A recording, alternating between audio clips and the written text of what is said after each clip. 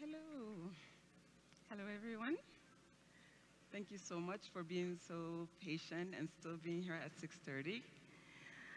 My name is Mariam Kamara. Um, I'm an architect from Niger in West Africa, and um, I practice both in the urban setting and in rural settings and everything in between. My, oh, interesting. Um, my, my, time is spent between the US and Niger, where I spend half the year in the US, the other half um, in Niger, where my entire staff is based, and most of our projects now um, are there.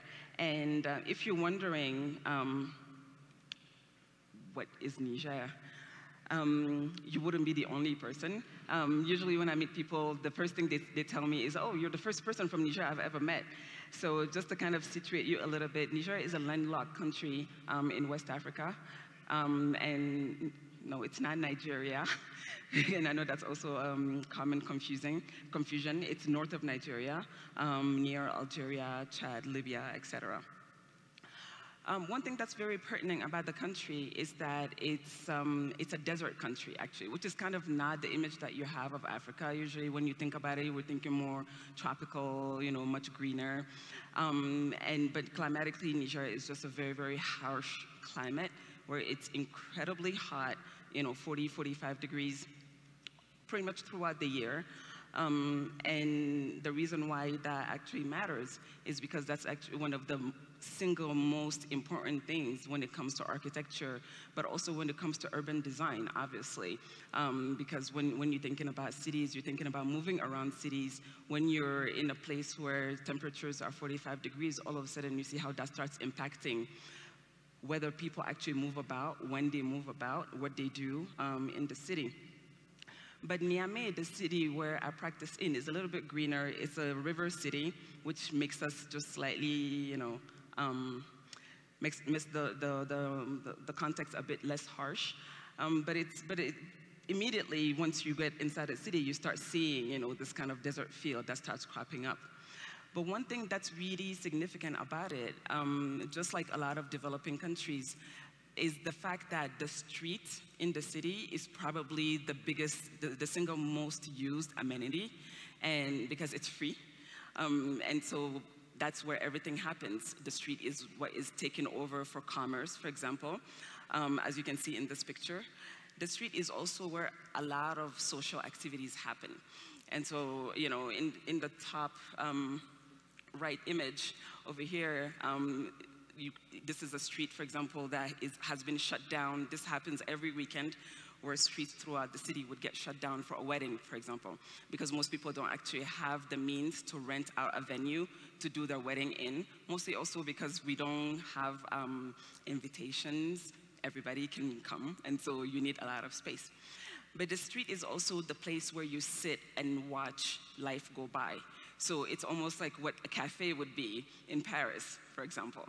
But what we do in Niger is that in front of a lot of people's homes, they set up what is called a fada. And a fada is kind of this place where you sit, as you can see um, those young, young men over here, and with your friends drinking tea, you know, playing cards, and sometimes until really, really late um, into the night. But one thing um, that is significant is like if you can see in those images, um, most of the people who are outside are all men. So the context that I need to also specify is that Niger is a Muslim country. It's a 95% Muslim country. And the city of Niamey is not a place where you will necessarily see women sitting outside um, in that way because it's seen as, you know, being kind of morally loose, you know, or something of that nature.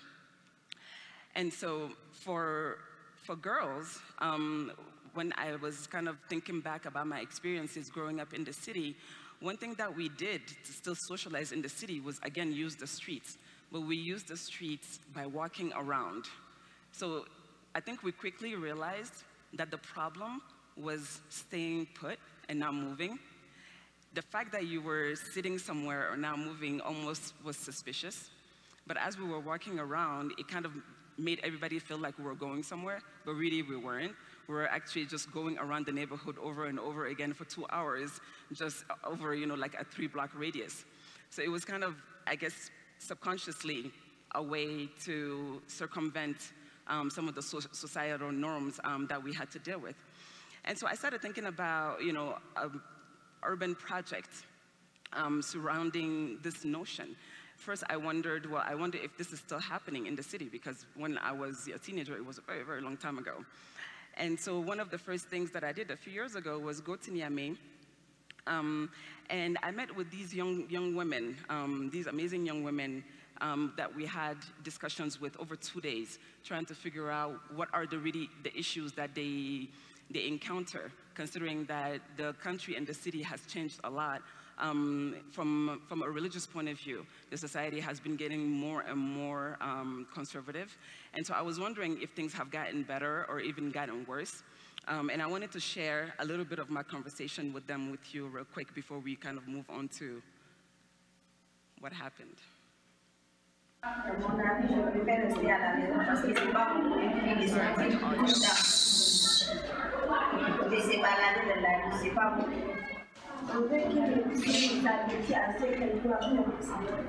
Et qu'est-ce qu'elle doit faire? La cuisine, le travail domestique et aussi apprendre ce qu'une femme doit faire.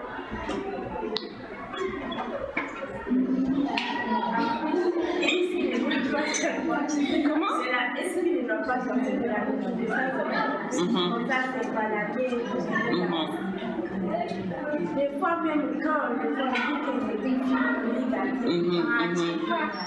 Il faut sortir pour connaître, pour, un peu connaître la nature et voir des choses. Même si tu sors, tu peux voir des choses que tu n'as jamais vues. Mhm. Vrai. si tu restes à la maison, pas possible. C'est même de regarder la télévision. Mhm. Le week-end, je, je étudie, je fais des exercices, je lave mes habits, je, et avec mes amis, on se balade. Vous vous On- baladez? Où ça? À quelque part des. À l'intérieur du quartier? Non, non, Mhm. on va, on va sortir. vers, vers où? En fait, ce qui m'intéresse, c'est quel genre d'espace vous utilisez quand vous vous baladez? Des fois, on, va au supermarché, il y a piscine. À la piscine, ok. À la piscine. J'aime euh, me balader, mhm. balader dans très. Mhm. je peux faire des lectures parce qu'on n'est pas fort en français. Il faut fait- beaucoup lire. Voilà, on fait des lectures, on prend des livres de contes, d'histoire. Mhm. et Oui. C'est ça que ça me plaît de partir au CCP. Des fois, on voit il y a des gens qui viennent faire des sketchs ou bien des chansons. On Mhm. va les regarder. Moi et mes familles, on au foot. Si tu ne sors pas là, tu es comme un village. En fait, c'est De sortir là. Pourquoi C'est toi, c'est toi, à ce qu'il fait sur les choses, il y a beaucoup de maladies de la vie de Mhm. Donc c'est mieux de rester à la maison. À la maison, si tu restes à la télé, tu peux voir tout, Mhm. même si tu n'es pas. Et, et quand il fait pas. Est-ce que à part l'école, est-ce qu'il y a un endroit, un autre endroit que vous pensez que vous pouvez dire à vos parents, vous partez et ils n'auront pas de problème? Où ça? Par exemple, au musée national. Euh, Au musée national. Oui. Et puis? Ou chez une tante J'ai un ami, au stade. Mais quel- quel- un endroit qui n'est pas chez quelqu'un. Au stade, par exemple, au stade, stade général, c'est un Ah oui Pourquoi au stade? Parce qu'on est là. Pour faire du sport. Entre amis, on s'organise là-bas. Où ça là-bas? Le stade de l'islam. Ah oui? Ah, C'est bien ça. Pour faire des. Pour du basket. Même du tennis. Ok. Raison pour laquelle on veut sortir avec des amis, échanger des idées. Mhm. Maintenant, si on ne sort pas des amis, il y a, y a des fois tu sors avec tes amis non? et il y a quelque chose que tu ne connais pas. Ils vont te les dire. Mais si tu ne sors pas, tu restes toujours à la maison, c'est pas bon.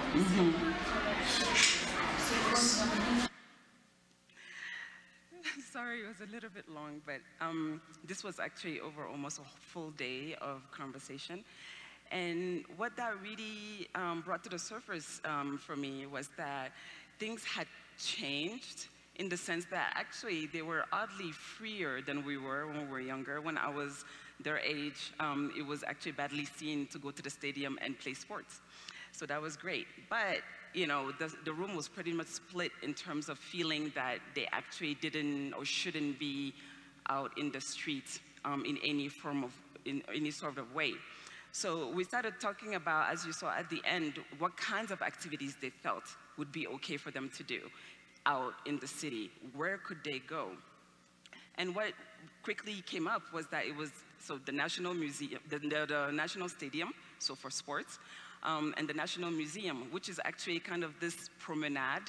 Um, it's not really a museum, it, it's more of a collection of pavilions in a landscape. And so essentially, what I realized was that they were still doing actually what I was doing when they were their age. They were going there so they would walk around and that they would um, in that way. And then it came up um, that the things that they worried about, you know, that they really cared about wasn't so much about, you know, going around and getting into trouble or anything like that. They just wanted a place where they could be, you know, away from the heat, uh, where they could have fun, dance together, quiet places. And so it kind of got me started thinking about, well, in that case, wouldn't it be amazing actually if we did some kind of itinerary throughout the city? And an itinerary um, that would kind of put itself at the heart of the city in a way, as a way to draw people, because also it's the denser, the denser part of the city. And the idea to, was to first start by linking those two spaces they talked about, the stadium and the National Museum, as a kind of starting point and the starting link um, for that itinerary. And then starting to try to see how to bring in the maximum amount of girls on that itinerary by actually making it go around um, as many schools as possible so that when they come out of school on their way home or you know, on weekends, sometimes also they go to school to study together, it would be part of you know, the way um, that they use. And it was also really interesting to move um, the itinerary more in the, um, um I would say like more underserved areas and also more conservative areas um, religiously because obviously this is not a problem in some part of the cities who are not as religiously conservative.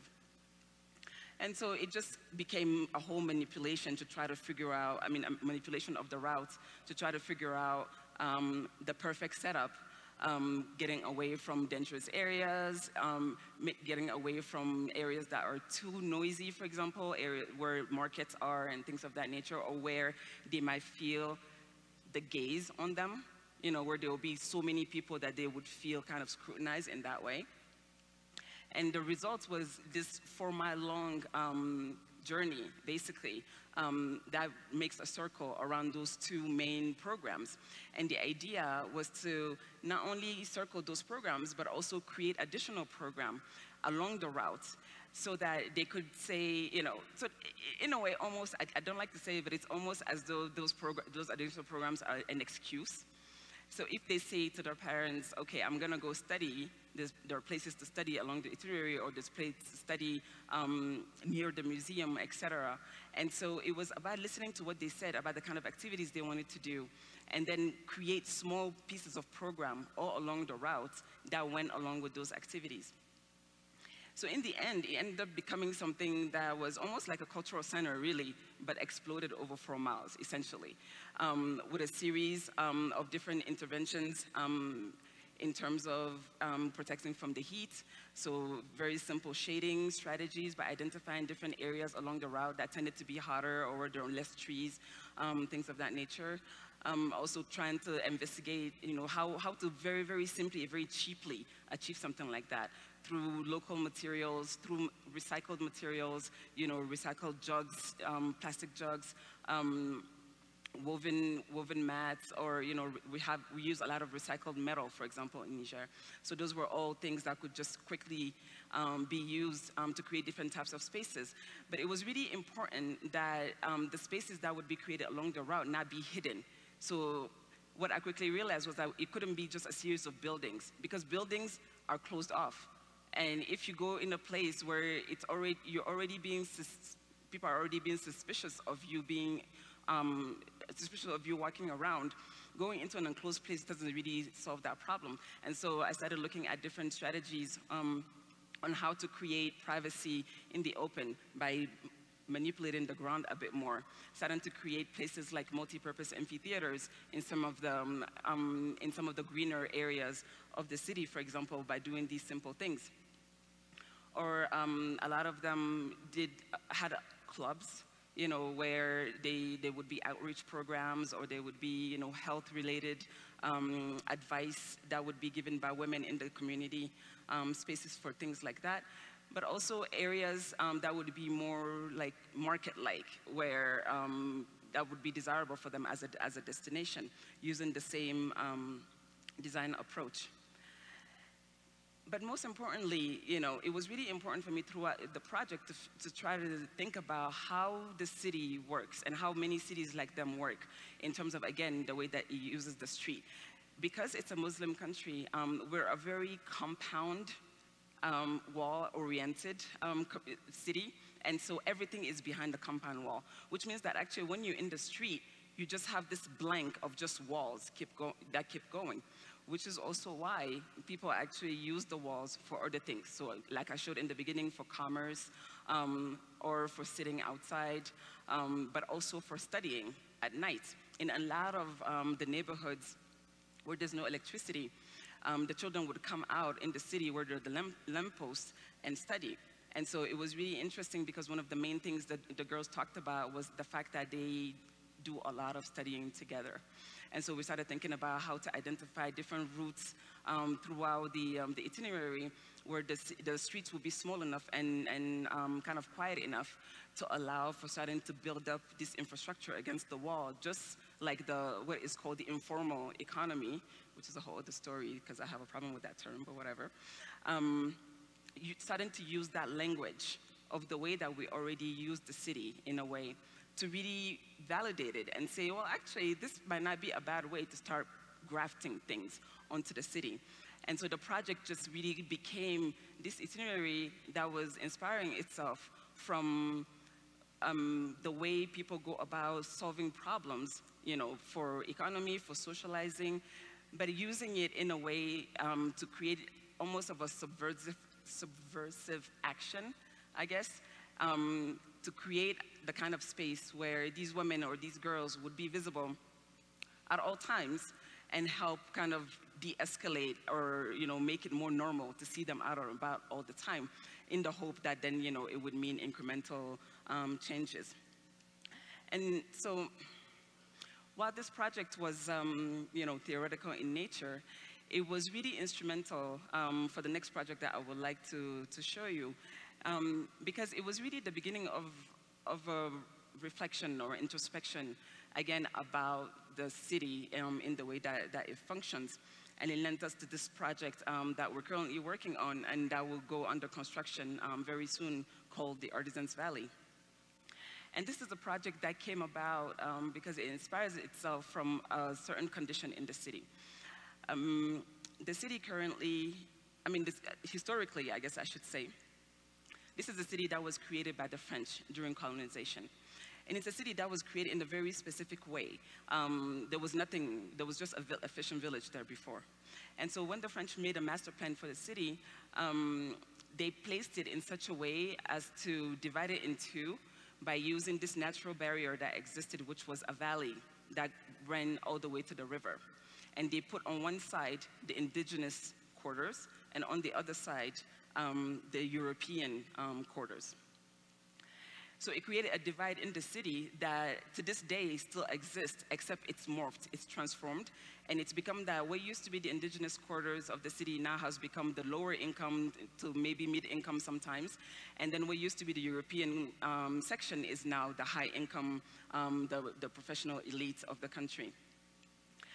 And that divide is even visible um, from a religious point of view um, where it's really, you really feel like you live in two different cities because of that valley and because of the history that, that the city comes with.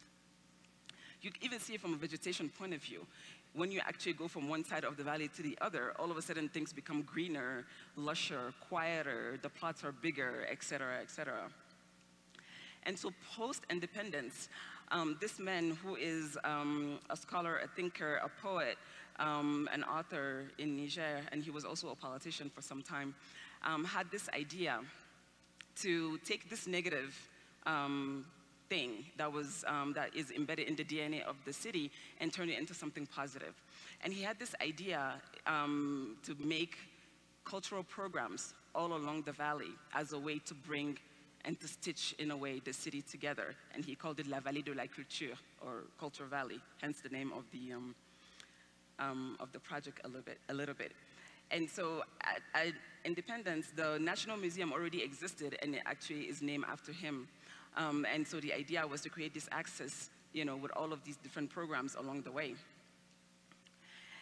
And for us, you know, when this project was, was brought to us, we immediately saw, you know, the opportunity to actually make this mobile loitering thing happen in a way, even, even, even, even if it's for different reasons, um, by actually conceiving um, this cultural valley as a promenade, as a way um, to bring a lot of these activities together.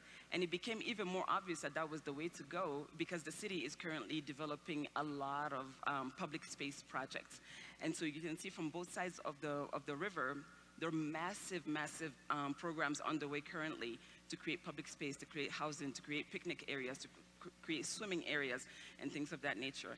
And so it was just very easy for us to, to then say that, well, the Cultural Valley then should just be this um, highway, pedestrian highway, that brings the whole city to the water. Because as many cities who are river cities, um, the river was only being used as a sewer, for example. And now, uh, and, and the city was turning its back on the river. And now the effort is to bring people um, more towards the water.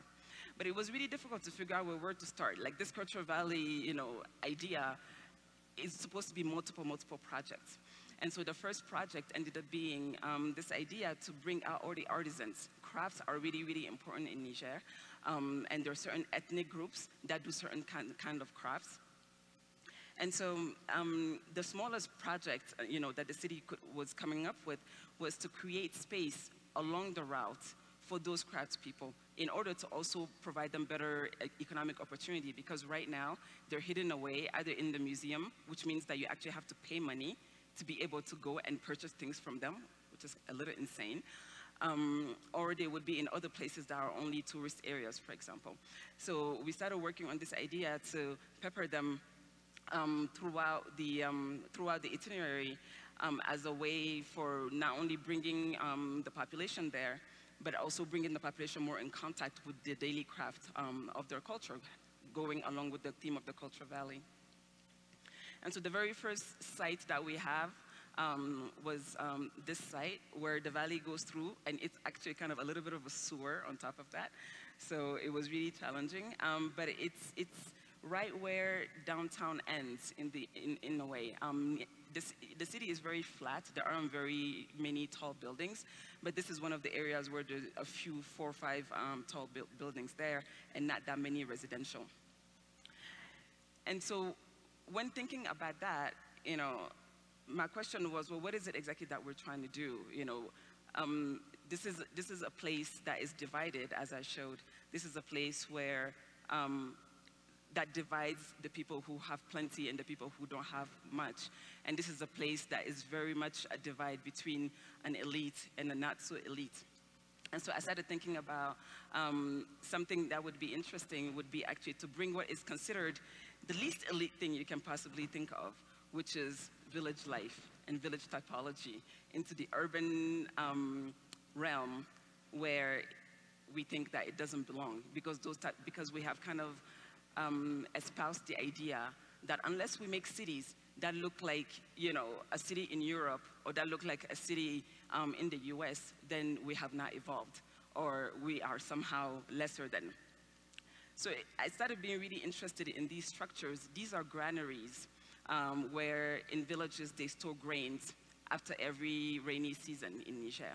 And it's these kind of beautiful pieces of craft, which is another reason why I was interested in because this is supposed to be a value for craftsmen, um, that they make by hand. And they make these really thin, delicate shells um, by just taking, you know, clumps of clay and just molding them by hand and making these perfect shapes. And so we started playing around um, with the shape and try to see how we can, and, and in a way also, I always thought that they, they look like these, this installation. Um, and the fact that we were supposed to have all these individual spaces and all these individual pods in my mind kind of started to evoke the idea of almost of an installation, of a spectacle almost in the middle of the city. And so looking at the site that we have, this is a photo um, on the ground level of our site. Um, it just really became evident that, you know, considering how vacant it was, how open and just how empty and desert-like it was, um, one way maybe that we could bring people over, it was by creating something of a spectacle in that way. And so we started playing around with this idea of, you know, not only the shape, but deconstructing the shape, but keeping this lightness and this delicateness and almost kind of, um, almost, almost as though if, if a sandstorm came through, the whole thing would kind of collapse in a way. Um, and it became um, this thing that could be replicated in many, many different sites all along the Cultural Valley um, as these series of pods that can be manipulated and turned into different um, kinds of things and different kind of program. Because one thing that the city was really interested in wasn't so much to create just space for commerce um, for the artisans. They were really interested in, in turning it into a real public space. The, um, the valley is currently somewhat dangerous because it's not well lit, because you know, there aren't that many people who go through there. And so what they really wanted to do was to create a place that would be alive day and night. So by day, the artisans could sell their wares. By night, we could really actually activate the place through different things like, you know, like outdoor movies, um, different places to hang out, you know, to even throw small parties and things like that. Basically a place where we can have happenings happen. And so it ended up looking a little bit like this, where you just have kind of this series of little, you know, clustered um, pavilions in a way, um, where you can, that you can turn into all kinds of um, different type of program while keeping the unity of it all. Um, and that you can hang out, as I was saying, you know, at night, bring your family, um, and you really turn the identity of this place around. And so ultimately, you know, for me, this project was just a great way to explore well, how do we start thinking through spaces like these that have been, that, that have kind of this bad history, this negative history, and how do you start also reclaiming some of your identity in a way and not and stop apologizing for the things that are there where you are instead of trying to emulate something that comes from elsewhere. So it was kind of a, a great um, testing block um, to really help bring in something positive in a place that had just for so many years, for so many decades, been the synonymous with kind of the oppression that happened in the city. And that's where I wanted to show you today. Thank you.